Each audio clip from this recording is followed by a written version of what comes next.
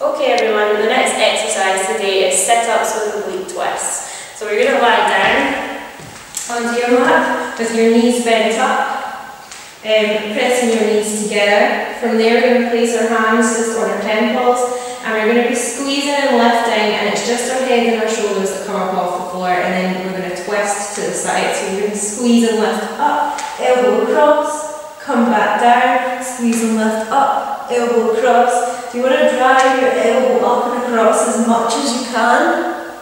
So it's just the one side that's coming up off the floor for your shoulders and your head's going to stay off the whole time. So that's the oblique twist crunch.